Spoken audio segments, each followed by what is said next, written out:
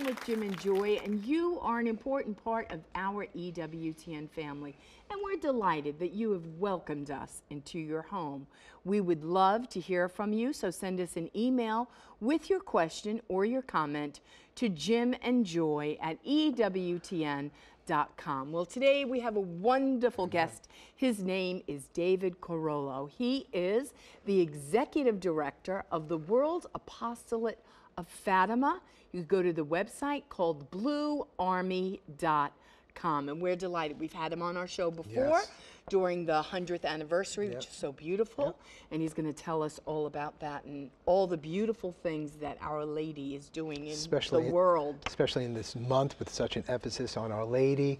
And just recently we celebrated uh, the apparition, the miracle of the sun. And so that's all happening. And it's so wonderful to have a relationship with Our Lady. I didn't always have that relationship. She had a relationship with me, but I didn't have much of a relationship with her. And as I yield to her, as we yield to her, and uh, just, just to, to know who she is more fully, very special presence, you know, with Our Lady. And I was reading a particular scripture that I wanted to share today, um, and it will lead into Our Lady. The, the verse is from Romans, I think it's 8:32. Um, it says, "He who did not spare his own son, but handed him over for us all, how will he not also give us everything else with him?" Um, but he who did not spare his own son, and here's the key that, that stuck out to me, but handed him over for us all. You know, with, with all the love that was given to Jesus and all that happened to him, and then all of the rejection and lies and filth that was sent his way in his crucifixion and suffering and pain, you know, can't even imagine all that he went through in all of his purity. What is this that the Father handed him over? Mm.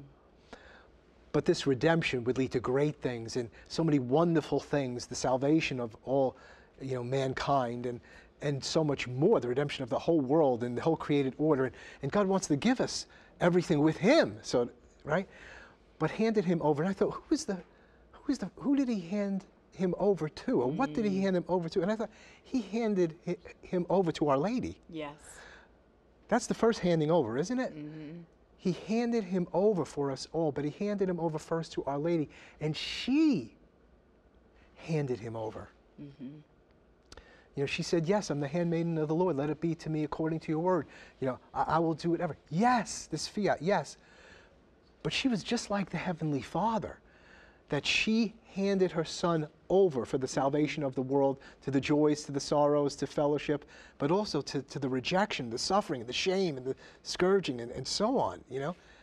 She handed him over too. I mean, it's, it's just profound when you ponder it. Mm, Yeah. And the beautiful thing about our Blessed Mother is she is always, whether you believe this or not in Protestant land, she is always pointing and drawing us deep into the heart of Jesus.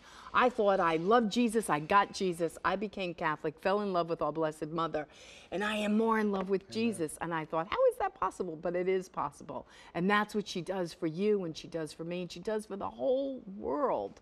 So we're excited to have David with us today, the executive director of World Apostolate of Fatima. Go to the website bluearmy.com. Don't go away, we'll be right back.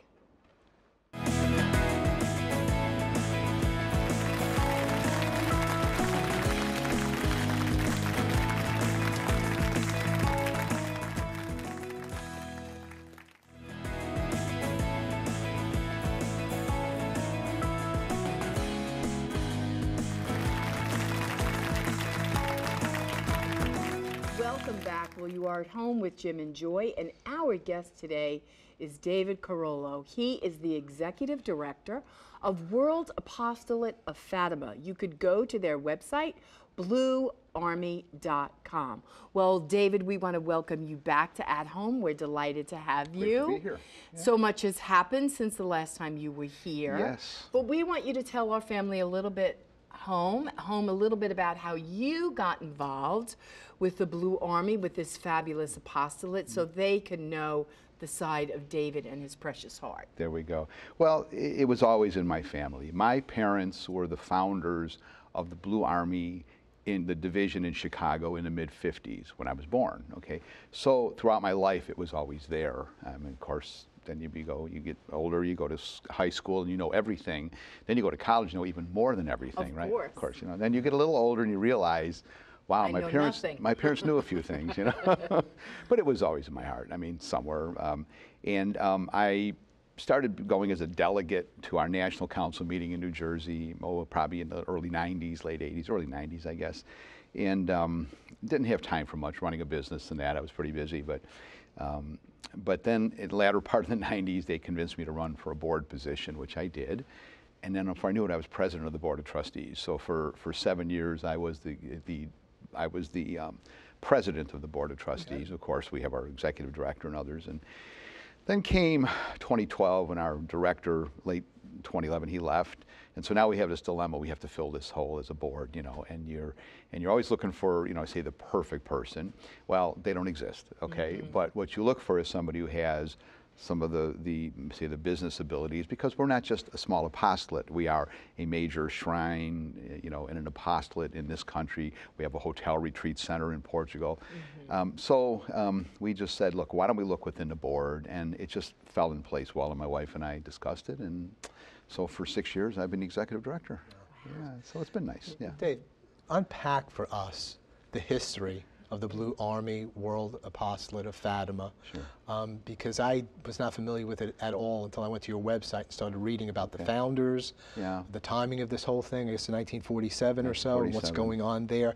And the founders are absolutely amazing to learn about and their story, so please bring that to Well, us. come into the time, it's 1947, 30 years after the apparitions. Sister Lucia was a little bit uncomfortable that the Fatima message was not really being brought to the world like she thought it would. But keep in mind, two world wars. Europe was in a shambles, we know that. So it took a couple of brazen Americans, quite frankly, that had, you know, the infrastructure and the, and the resources um, to put something together. Monsignor Harold Colgan, a priest in New Jersey, um, was he, he had a very severe heart attack, and he was he was really dying. And in 1947, you didn't have the same type of surgical procedures as came a few years later. And he just prayed to Our Lady. He was very devoted to Our Lady of Fatima, and he said, he said, "Cure me, and I'll spend the rest of my days promoting your message." Okay. Be careful what you ask for, right. He walked out of that hospital later that week, miraculously, truly. And the doctor said they they have no explanation as to why that weak heart of his came back the way it did, but in fact it did. And soon after that, from the pulpit of his parish, he called for, remember it's 1947, it's the beginning of the Cold War now. Our Lady had said, you know, many things. One of them was Russia would spread her errors, okay? Look what had happened. 1947, after the war, Eastern Europe was captive, okay? Russia's errors had spread substantially. And he called for, from his pulpit, a blue army of prayer to counter the red army of atheistic communism.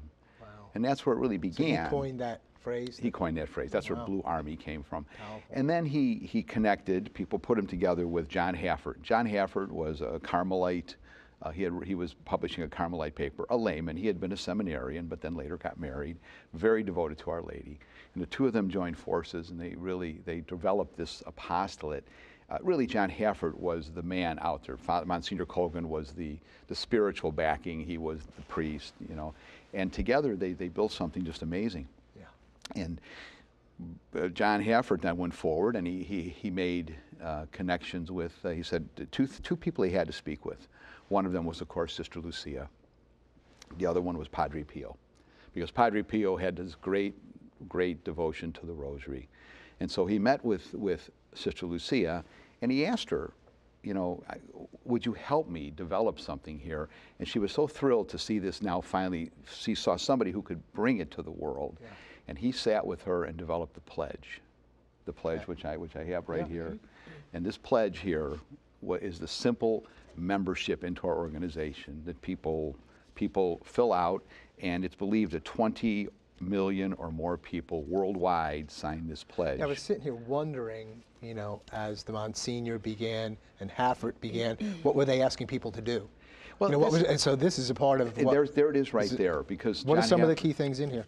What were they asked to do? Well, pray the rosary, okay? You know, live according to your state in life, live chastity according to your state in life, and the most important thing, you know, live your daily duty. Mm. If you're a husband, be the best husband, the best wife. You know, if you're a priest, be the best priest.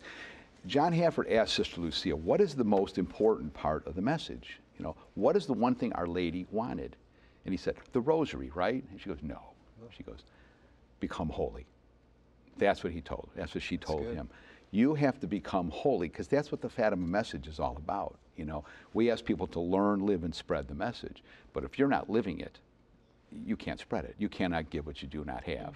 And that's really where it came from. It really was become holy and then then more things like make reparation for sin because look at the children what, what did they live the two the two young ones jacinta and francisco saints now they lived the simple simple acts of reparation they offered their lives are you willing to offer your lives in prayer and reparation in supplication for sin are you willing to accept what god sends your way you know, for the conversion of sinners primarily and for reparation for your own lives. Those are big.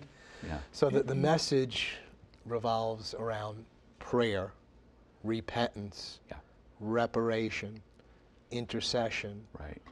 Um, what other components are there with the message of Fatima? You would say are those the key ones. Well, there? those are the key ones. I mean, Russia praying for Russia. Yeah. Well, Our Lady in in the messages, she pointed to many things, many things that could happen.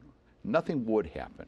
Remember that. Okay. It's all in our hands. Okay. She said, if my requests are not heeded, okay, well, this war will end, World War One, right? Yeah. Okay. Another greater war will happen. Look what happened, you know. And you know, and then if my requests are not heeded, you know, that's that's the big that's the big operable statement here. And then, you know, she said many other things. You know, nations could be annihilated. Wow, that was strong. Okay, and we sit back and say nations could be annihilated. Wow, well, nuclear war. Well, I guess we avoided that one, huh? Well, maybe. Okay, but look at look at what's happening in our world today with contraception and abortion. Nations are being annihilated. That's right. Okay, okay. You're a family show. You understand that. You have a family. You know how important that is. And I think this is more, it's the attitude because we're, we're doing a self annihilation by walking away from God. Okay? The more we walk away from God, we stop living according to natural law. Well, this, these are the consequences. So, you know, sure, can that, can that nuclear holocaust happen? Yeah. In 1947, when our founders got together, that was two years after the A bomb. That was a wake up call for the world, let's be honest. I mean, more than everything else that happened in the war. Thank God it was on, well, I say on our, we possessed it, we used it. Uh, people can argue the morality of using it, you know, that's, that's you know, history. But the, the fact is, you know, it could have been, it could have annihilated the world. Now, a- a- and I guess we have to always look at this philosophically, you know you know but i do believe that we are annihilating ourselves not only by contraception and abortion but by just generally moving away from the, from the precepts of god mm-hmm. by choosing to do our life on our own terms, right? Exactly, you know. Where, where when we're asking to be holy, Yeah. well, the first thing you have to be is selfless. Absolutely You have to be prayerful. Right. Those are the ways that are going to make you holy. And how many people don't pray the rosary? How many people, well, it's just a prayer, it doesn't really matter. But it mm. takes us into the heart of our God where we can fall madly in love with Jesus again right. and again and again. That's right. Well, Padre Pio, also John Haffert met with Padre Pio, and Padre Pio said he, he what he loved about this apostolate is our prayer was the rosary. Mm. Okay, what did he call the rosary? The weapon. Right. The weapon for spiritual battle. You know, this word, the word army, uh, as the years went on and we spread to other nations, there are countries that weren't comfortable with the word army, so we morphed into being the World Apostolate of Fatima, as our national, our international organization is. But we're still the Blue Army at heart. We are still the church militant, let's be right. honest. That's, That's what, right. what we have to be on earth, and we can never forget that. You know, that doesn't mean that we that we don't change. Yeah. You know, words are words, but but we are. We, we, we are this this this army of prayer and reparation. And reparation is a very big part of it. You know, um, I always look at things from a little bit of a science background and what is uh, what is Newton's third law of motion? For every action, there's an equal and opposite reaction, right? We have to make up for things that happen. Okay, and and I think you find that there's a um, uh, you know, our, we, had, we had a chaplain. We have a beautiful hotel retreat center in Fatima, Portugal, Domus Pacis. How large And is it? It's uh, 110 rooms. We can acco- accommodate about 225 people. We have a beautiful auditorium. We have a Latin chapel, and we have the only Byzantine chapel in Fatima. You know, Wow. it's really a beautiful place, and that was all in line with with the Eastern world, okay, the Eastern Church. And, uh, and many years there, we housed the very famous icon of Kazan, which came, which was the icon of the Romanov family, and um, through because our founder took possession of it to save it, with the promise that when it could go back to Russia, it would go back. And in 2004, a delegation brought it back and gave it to the Orthodox Church to, to uh, um, Patriarch Alexei back then. But wh- the reason I, what I'm saying is we had a we had a chaplain there. We talk about what that aspect of the Fatima message. Father McSherry was an American Irishman with a gruff voice, and he was you know, and say, and I would bring many groups, of course, over and say, Father, you know, um, what is the Fatima message? And he would say, reparation, reparation. Yeah. Eucharistic reparation. Mm. And that's what it comes down to, you mm. know. Because, because keep in mind, in the first three apparitions of the children in 1916, you know, in the third of the angelic apparitions, he brought the host and, and the precious blood, okay? Eucharistic reparation and gave those beautiful prayers of reparation and the adoration to God in the Blessed Sacrament. And Sister Lucia later said that in many ways those were the most important apparitions at Fatima because it gave them the spiritual foundation to understand better what was given to them the following year by Our Lady. What are, what are we repairing We're repairing for sin. regards, regarding the Eucharist? Yeah. What's been done against the Eucharist that we have to repair? Well, I mean, many blasphemies against the Eucharist, most certainly, but Eucharistic reparation is also making reparation for sin in general, mm-hmm. okay? Because it is reconciliation. It's a reconciliation that was given to us on Holy Thursday, you know, that I will be with you till the end. Well, it's through, you know, when, when you spoke earlier about, you know, Our Lady giving her son, you know, mm-hmm. he gave back and stays with us, you know, to this day. So every morning we go to mass, you know, what are we, we're receiving that, you know, it's like, I think to myself, if there's a day you don't go to mass, and not, not, not to say anything because people don't get to mass every day, but I, my wife and I try and do a pretty good job of getting there most every day because, because we almost feel starving if we don't go. Right. you know? And i think uh, uh, it's that because that is what was given to us. Our lady gave her son as you mentioned earlier you know that's what he gave back to be with us constantly Right, and to be with us constantly, to be holy, to be the holy. best husband you can be. You, You know, Absolutely. you're trying to save the world, yes, but Yeah. you're trying to save yourself. You're trying to save your marriage. You're Yeah. trying to save your family from the evils of this world that uh, that are at rage with us. well I, mother teresa put it best somebody said how best can we i'm, paraphrasing a bit how best we bring peace to the world and she said what go home and love your family That's right. okay and i think that's really what it comes it starts it starts in the most basic unit obviously the family and your community and then it builds from there Let's uh, pause at this point. We're going to carry you over to the next segment. Uh, Dave Carollo is here with us, Executive Director for the World Apostolate of Fatima, bluearmy.com. The mission is to learn, live, and spread the message of Fatima. Become a part of the Army. We'll be right back. Don't go away.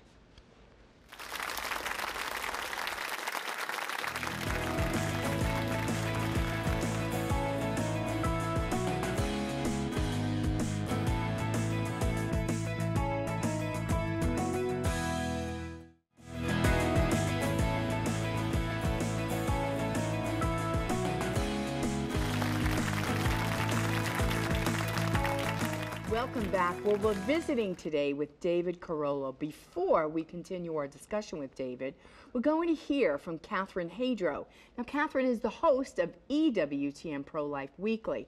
Now, Catherine, did I hear you're speaking with the Louisiana Attorney General this week? Tell us about that. Hi, Jim and Joy. Yes, that's right. I speak with Jeff Landry this week, the Louisiana Attorney General, about a recent federal appeals court ruling. The court recently upheld a law requiring abortion providers in the state have admitting privileges at a nearby hospital. You would think a law like that would have wide support. It is about health care for women, after all, but abortion advocates often push back on these type of regulations. We break it all down with the state's Attorney General and shine a light on his pro-life leadership as well. And in other news, October is Down Syndrome Awareness Month. We introduce you to a handful of young adult Catholics who have Down syndrome and are students at George Mason University. The university has a program that empowers students with intellectual and developmental disabilities to continue their education. It's really an incredible program, and I can't wait to introduce it to you all. And while I have you, Jim and Joy, we want to empower all our EWTN viewers to get involved in the pro life movement this week. There's always something you can do. To find out this week's call to action, go to prolifeweekly.com. Again, that's prolifeweekly.com. And of course, I hope you tune in to EWTN Pro Life Weekly at 10 p.m. this Thursday and again on 10 a.m. this Sunday. Now, back to you at home. Catherine, thank you so much, keeping the pro-life message front and center. David Carollo continues with us, Executive Director for the World Apostolate of Fatima. That's bluearmy.com. One of your key callings is to bring Fatima to the people. Tell us about your publishing. Yeah, well, we, we publish books. We've been, like I say, in our 71 year history, we have our publishing arm. We publish our magazine, Soul Magazine. Soul Magazine has been published now since uh, actually 1950, three years into the time of the apostolate. And as time goes on, of course, we're going to more of a digital platform, but we still print the magazine because that's still the, the It's beautifully done, it's high quality. we it get many, good. many awards. Yeah, I mean, we've really been given many awards for this magazine over the years, and recently, as recently as this year, um, because I think our, well, our staff. I mean, I could take all the credit, I guess. They great job, David. But no, I mean, our good people are are are. are I mean, I, so many people that are part of this. The Mm-hmm. mm Barb Ernster is our communications director. Patrick Sabat, you met Patrick. He was on the show with me last year. Deacon Bob Ellis, and so many. I mean, Megan Megan Pritchard, who was our our graphics person. I mean, all these people really put their heart into doing Mm-hmm. this. And I'm, I, I'm forgetting people. I'm not putting everybody's name out there, but, but it's a team. It's a team effort. And this magazine has been very, very important to us. We also publish um, uh, several other books, of course, many books over the years. Our founder wrote 35 books, John Haffert, and those are all available on, on, on our website, both on in print and online. We're, we're, we're really we're, we're really putting another big effort to get his, his books out there because they're just amazing. Mm-hmm. And what was important and what was relevant in 1947 is relevant today, okay? And I think the more we realize that, you know, what's old is what's new. In 1947, when they brought the Pilgrim Virgin statue here, the original International Pilgrim Virgin mm-hmm. that we had here last year, when you recall, we were on the show, that statue has been touring now for 71 years. Oh, bring Fatima to the people, and then we had our travel company, bring the people to Fatima. Mm-hmm. So our travel company, Ave Maria Pilgrimages, AveMariaPilgrimages.com is our is our, our website. We bring people not only to Fatima, to our hotel, but to the Holy Land, to Poland, to all over, because because we want to bring the people to the places of our faith and bring the faith to them. That's what this apostolate is really all about, you know. But as far as publishing, you know, we have many books. We work with the Sisters of Coimbra, the sisters in Coimbra, Portugal, where Sister Lucia lived for 57 of those years. Remember, Francisco and Jacinta died in, you know, within two and three years after the apparitions. Sister Lucia lived to 98. She lived until 2005. Mm-hmm. In those 88 years after the apparitions, she lived 57 of those years with the Sisters at the Carmel of Coimbra. So we work in cooperation with them and we publish their books here in English. Of course, The Pathway Under the Gaze of Mary, uh, a book which is well known. It's carried here on EWTN. Uh, I, was, I was on with Doug Keck. We did a, we did a bookmark on this book a couple years ago. And this is a treasure right here. This is Sister Lucia's Rosary Meditation book. These were her meditations.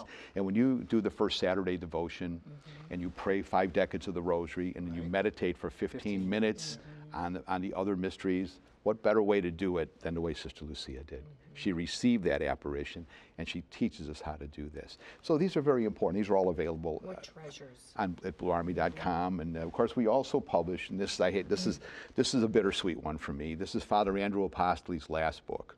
We published this with him right before he died last year. He died um, you know we were on October 13th we had our big event which we do every year and uh, Father Andrew was there on October 13th of 17 for the 100th anniversary of the miracle of the sun and he died 60 days later. Mm-hmm. But he was with us until the end, you know. And I think, you know, it's just uh, very special, of course, and did a lot mm-hmm. with Father. He's a big part. Of course, the Franciscan friars Right. are, you know, Father Lou Fletcher, I think, was recently on the show with you. He was mm-hmm. with us at the last event in his place. Many people part of the Blue Army. David, thank you so much for being with us. and We look forward to being with you on Friday again. Looking forward to it. unpack more about this worldwide Fatima apostolate and to reflect some on the centennial and Yeah, the fruits okay. Of it. That's good. Everybody sign me a pledge. Mm-hmm. EWTN Family Celebration is November 3rd, so make your plans to come to Jacksonville, Florida. God bless you. God bless all of your loved ones. You're an important part of this family. You're always at home with Jim and Joy. Bye now.